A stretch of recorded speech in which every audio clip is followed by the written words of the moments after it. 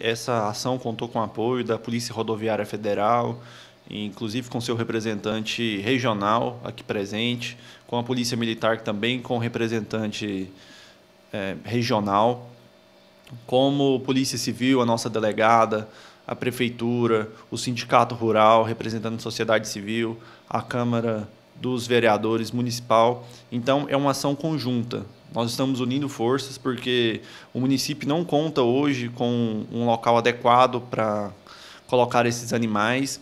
Então, o local que eles possuem não tem segurança.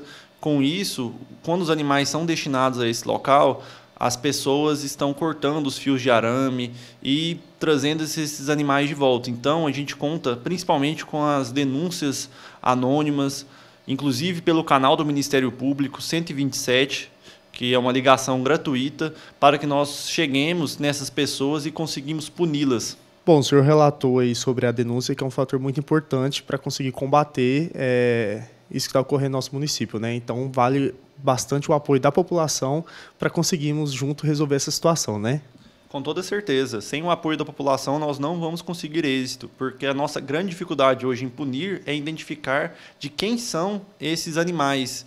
Essas pessoas que soltam esses animais nas ruas, colocam em risco tanto a integridade dos animais quanto das pessoas que ali transitam, inclusive um perigo de vida para todo mundo. Sem a denúncia anônima, sem a ajuda da população, nós não vamos conseguir êxito nesse problema. Então a estratégia para localizar e notificar os proprietários parte da população em geral, né?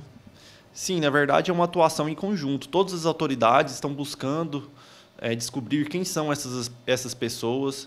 Estamos tentando também dar uma destinação adequada para esses animais, inclusive se alguém tiver interesse na guarda desses animais, podemos fazer um termo de, de perdimento dessa pessoa que está cometendo maus tratos e proceder com a doação desse animal, uma pessoa que vai tratá-la bem e não deixá-la solto deixá-los soltos na, nas ruas, que trazem risco para, para todo mundo.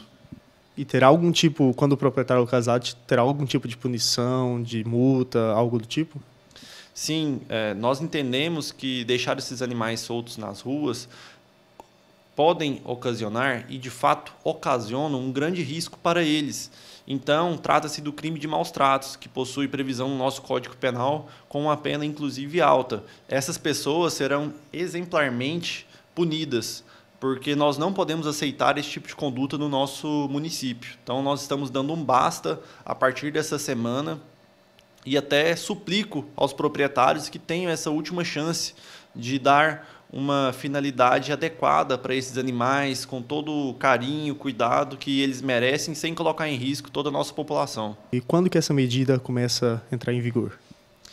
Então, isso já foi alinhado na nossa reunião, já está em vigor. Nós já estamos tentando localizar essas pessoas pra, para puni-las, como também dar essa destinação adequada para, para os animais, que eles tenham essa dignidade que tanto necessitam, tanto de água, alimentos, porque os que mais sofrem são eles. Então, nós estamos aqui tanto defendendo os animais quanto a, a nossa sociedade de Alto Garças e as pessoas que aqui passam em nossa BR.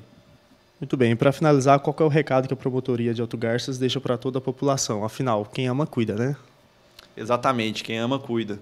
Então, o recado que, que é passado é que nós precisamos unir forças para resolver todos os problemas do nosso município, não apenas quanto aos animais, mas todos os problemas que afligem o nosso município, porque apenas unidos nós vamos conseguir efetivamente melhorar a qualidade de vida da nossa população. Então eu peço, denunciem, agem, não, não se escondam, porque as autoridades estão unidas em tentar melhorar a qualidade de vida do nosso município, inclusive quanto a esse tema dos, dos animais soltos na pista, que será um tema a ser esquecido diante da efetividade das nossas ações.